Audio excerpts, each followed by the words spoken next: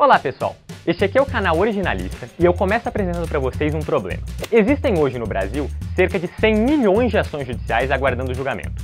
Se você parar para pensar um pouquinho, somos cerca de 200 milhões de brasileiros e cada uma dessas ações judiciais tem necessariamente duas partes, porque afinal de contas é sempre uma pessoa brigando contra a outra.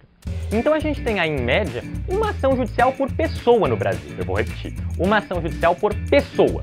Agora vem cá. Você possivelmente está me assistindo de um computador, não é?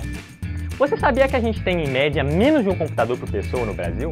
É isso mesmo, a gente tem cerca de dois computadores a cada três pessoas, o que significa que, em média, a gente tem mais ação judicial tramitando por pessoa do que computador. Se você ainda não está convencido que a gente tem um problema aí, eu te apresento então um outro dado. O Supremo Tribunal Federal do Brasil julga, em média, por dia, mais ações do que a Suprema Corte dos Estados Unidos julga em três anos. Então fica claro aí que a gente tem sim um gargalo muito grande no sistema de justiça do país. Agora, esse gargalo, ele é comumente atribuído a problemas que vão desde uma suposta precariedade na legislação até um excesso de possibilidade de recurso. Agora, se a gente for analisar os dados, isso não é bem verdade. Já houve no Brasil diversas tentativas de reforma no sistema recursal, tanto por emendas à Constituição quanto por alteração na legislação infraconstitucional. E logo mais você vai poder entender a diferença entre essas duas coisas.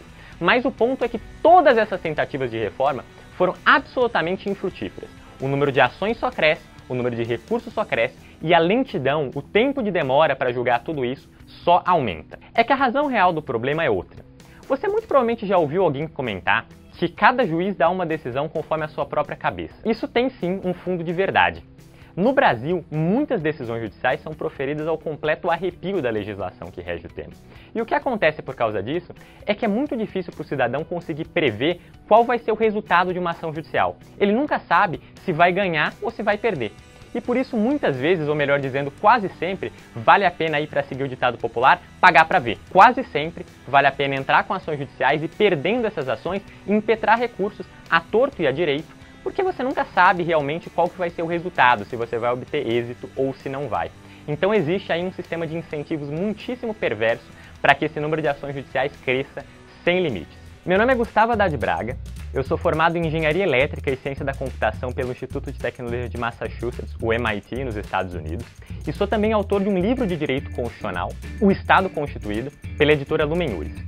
Meu objetivo aqui é munir você dos instrumentos e conhecimentos necessários para que a gente possa parar de aplaudir ou criticar decisões judiciais com base em se a gente gosta ou não delas e poder começar a aplaudi-las ou criticá-las com base em se elas estão certas ou não. Então, se você tem interesse por esse tema, se inscreva aqui no nosso canal e ative as notificações para que todas as quintas-feiras às 19 horas você receba uma atualização com novos vídeos. Venha conosco entender o Brasil.